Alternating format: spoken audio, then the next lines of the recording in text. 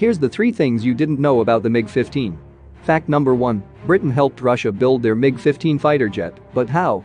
Land-lease program was forcing London to repay America for military equipment, so UK sold dozens of Rolls-Royce Nene turbojets in 1946 and 1947, under condition that they would not be used for military purposes. But Soviets reverse-engineered the Nene and produced more powerful VK-1, capable of 6,000 pounds of thrust. Fact number 2. The MiG-15 was the first fighter jet from the Soviet Union to have the ejection seat. Before MiG-15, the pilots used to perform manual ejections, but under the high speed of MiG-15, these manual ejections were not at all possible. Fact number 3. During the Korean War, the MiG-15 was one of the most mass-produced and most exported fighter jet of that time. Nearly 13,000 of these aircraft were manufactured by the USSR. Later, the foreign license was awarded to many countries with China on top.